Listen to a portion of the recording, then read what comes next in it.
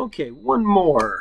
Um, and I wanted to do a variation on the other ballistic pendulums, penduli, uh, that I had done before. And instead of being pinned, because there's so many that are pinned, I wanted to do one where I, um, I, I, where it's not constrained. All right, so uh, I guess we could try to imagine this thing being on a horizontal surface, maybe, and somehow there's no friction. So maybe it's on the ice. Maybe it's on the ice rink and this thing actually has some height. So the ball is actually hitting onto the surface, you know, if you can imagine that, right? And um, so this one kilogram ball sphere is moving at two meters per second when it strikes the end uh, right here. Well, not quite the end, just off of the end of this uh, stationary slender rod B. If the velocity of the sphere after the impact is 0.8 meters per second, what is the coefficient of restitution? Um, okay, so let's see. Where what is the ball weighs? What the ball is one kilogram, and um, the stationary thing is two kilograms. Okay, so we have kind of this setup. We kind of know what everything is. And um, so here is uh, this is the uh, solution manuals uh, thing, so or whatever it's Bedford and Fowler's uh, diagrams. So there's a little bit of variation from what we're used to here. Um, but they've made a diagram, a, uh, a, a, a inertial diagram uh, onto this thing, and, and I can um, maybe this is like the before or the initial and here's the after. Right? And these two things are equal to each other. And they gave us a bunch of stuff here in the solution. The distance of the point P from the bar is 0.4 and linear momentum is conserved right there. So we need to use linear momentum as well as angular momentum, right? Uh, because so so the, here's a case we don't have to worry about the reaction forces at the pin. So the and, and by the way, the all of these things, well, well, the uh, the one that we care about here is going to be at the center of mass right? That's a VCM. That's the important one when it comes to uh, taking the linear uh, acceleration, excuse me, linear velocity, the linear momentum. And it's at the center of mass. And VA and V prime are the velocities of the sphere before and after the impact, right? But we're going to need to use VP is the point of impact, right? So we have a different velocity to use in the um, equation up here than we do in uh, the coefficient of restitution. The coefficient of restitution has to be the localized velocity.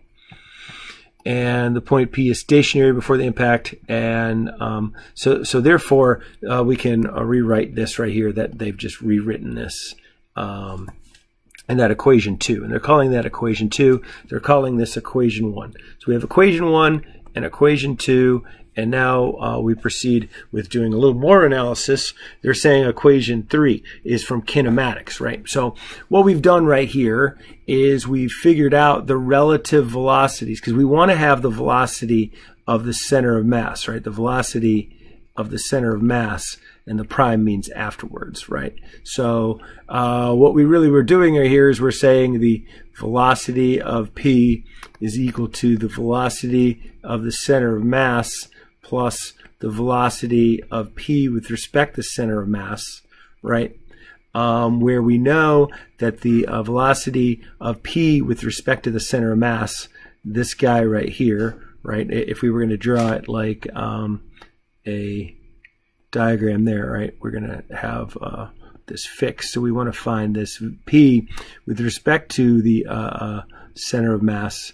That guy right there, that VP with respect to the center of mass, and there's right, right, right in there that this distance.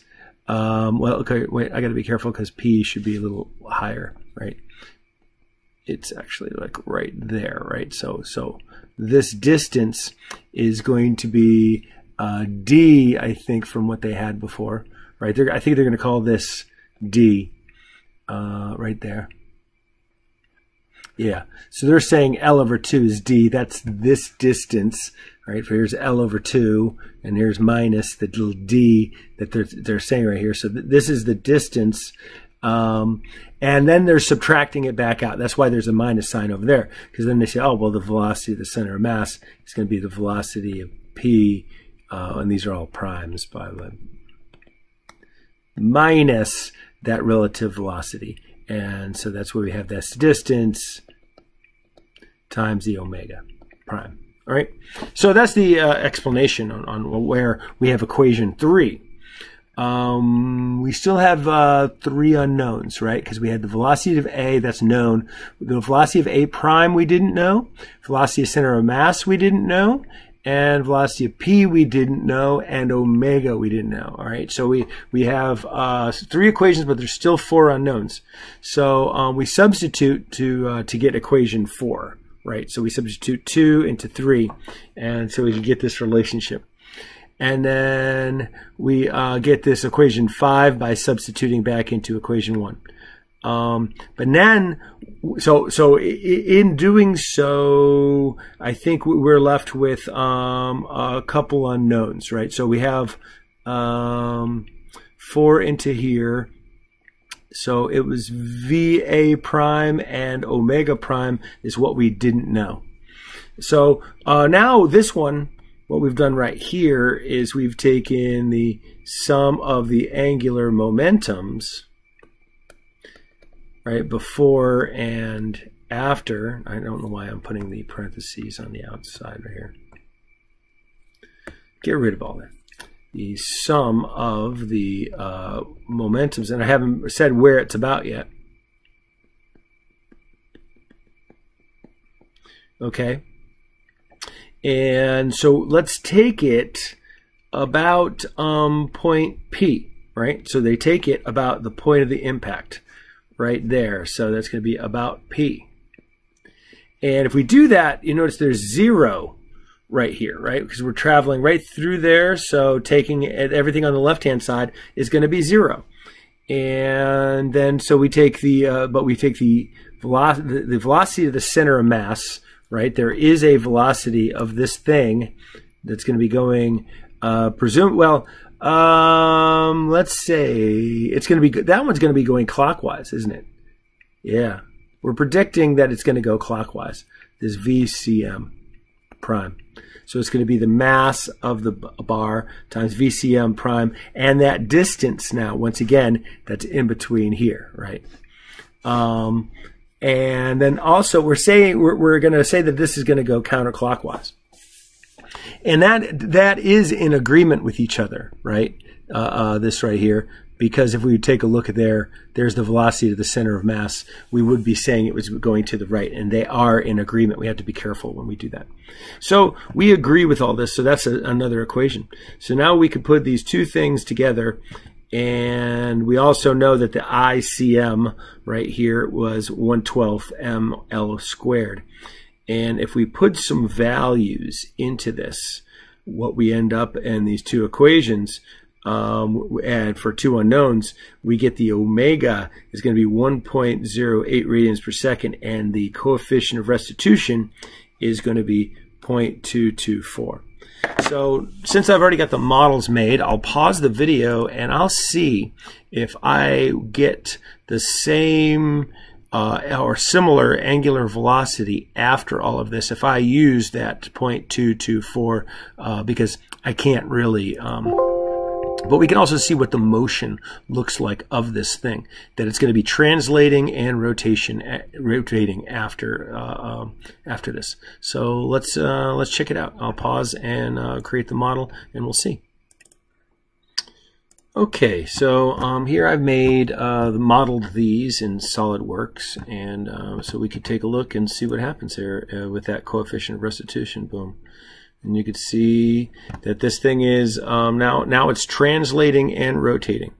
In fact, if I wanted to, I could um, probably uh, use up a little memory here, but um, let's just see what happens there if we would uh, start from the beginning here and let it calculate its way out and see how this thing moves, right? So you can get kind of a sense of this thing flying uh, across the ice because that's really kind of what what it's like. It's right, it's, uh, where where we have this maybe a hockey stick and a hockey puck, and we we uh, slap the thing right on there and see what happens. Boom. There's no losses or anything, so it's just going to keep on moving. Um, so let me uh, graph and try to get uh, some values out of this. Um, we get the displacement. Um, get the linear velocity. We can get the magnitude if we'd like, um, but I'll, I'll, just get stick with the x component of this, and uh, we just create a plot. And so let's see here. Um, it, it's uh, not. We are in uh, millimeters. Is that right? We're in millimeters per second. Um, I can change everything. I think I could change it into meters. Will that change? Yeah, because we're starting off at 2, right? So we wanted to, um, in order to see the thing, it needs to be, uh, let's see, let's make this 0 as our start. And let's make this like 2.2 with a uh, increments of point of 0.2 and little increments of 0.05 or something. I don't know. It doesn't matter. Uh, so you can see this, right? So you can see that it's uh, dropped down and now its uh, speed afterwards is something that's below um, 0.8. Um, did we figure out what that ball's um, velocity would be after um, after this? I don't think I ever calculated that, um, but we definitely could. Choo, choo, choo. VA2 is 0.8. Okay, yeah. I I calculated when I was doing it. So let's see, did I? Uh, so 0.8. Yeah, we're like right there. Um, it's matching up with uh, what we our expectations. Let's take a look at. Um, oh, we can also we can also get angular velocity, right? So that's one of the things that we. Um, so I got found the velocity at c. I don't have a point on the. I think that's the center of gravity. Is that what I call it right here? Um, no, I call on mine. I called it point P. So we don't have a couple of things on there uh, to measure. So actually, what we have to do in order to do that, I'd have to come back into part one right here and maybe add some uh, points onto there. So I'll add a sketch and I will draw. Um, let's draw a point like oh, right here. I'll put one right there and maybe I'll put one right here, right? Okay, so I'm not exactly in the right spots. Um, I'll put a center line onto this and uh, I'll just attach it right there. Okay, so what I want to do is attach these points. These points were just floating in air, but now they're attached to that line. And um, this guy right here, actually, I could have like uh, made it easier for myself, but he's going to be the center. Uh, so um, I'll go from this reference to right here should be one meter, right? Thing's two meters long, and this distance, right, from there to there. Uh, remember, it was 0.4 to the end, so it's 0.6 here. Um, one of the issues that we might have is that you know you know in terms of getting accuracy is that I, am hitting you know I have this it's rounded off right? I really made the distances uh, from the centers of these uh, circles right here. But anyway we have two points and by the way in SolidWorks when it's black in a sketch that means it's fully defined. So uh, we can save that now and go back into our assembly. And I haven't given it a name yet and um, it's still back in there. But now that we've changed this thing, it's going to be mad at us. Well, it wasn't mad at us. Um, we have to uh, uh, calculate it again because it's got a new thing in the model. Um, so I calculated, so we could say beforehand, that the center of, or no, point C is going to be traveling 1.2 uh, 1.248 after this. So um, let me see. Let's uh, graph it um, again. And so I'm going to have uh, displacement of velocity. and uh, let's only get the x component, just make our lives easier. And it's going to be, uh, when you know, darn it, I picked the wrong spot. I have it upside down. Um, but I can uh, quickly fix that. All right, so I will just go back in and change my sketch and uh, edit the sketch and I'll just add in another point. Why not? I'll put in another point right there on the line and make him this time uh, from here to right here is going to be 0.4 and that, so now it's 400 millimeters and save and then go back into uh, my assembly um, so go back into the motion study and let's recalculate the thing. Boom, and who's texting me? One of my friends from high school. All right, so that's uh, you know I, I, extended the time uh, of this thing just to just to kind of watch the thing as it moves and try to imagine what that looks like. I will um, put this onto here and select and find a velocity. Let's make it of that point and linear velocity and only in the x direction. And um, just for ease I'm just going to add it to the same plot. What screws up in SolidWorks is always putting like a uh, uh, an extra scale onto the thing. So it has two different scales. So you can't really compare these until you until you fix this right here. I think this is the one that's going to be messed up so um, it's not a matter because I'm just going to export it to um, SolidWorks anyway. But I should make it, to, if you want to make it pretty, make it to the same scale and make the major units, what I make the major units was 0.2, right? 0.2 and the minor units were 0.05. Oops, almost did it for me. And so now you can kind of see that's that's the uh, of that point right in there. And you could see it's going to be, you know, if I want to expand this out a little bit, you could guess it's going to be 1.2 something. And what did I say? What did I calculate? I said 1.248. So what if I come down to uh, this and I export to a spreadsheet? It uh, opens up the spreadsheet up here separately. And there you go, uh, right here. And um, a little bit of a time there.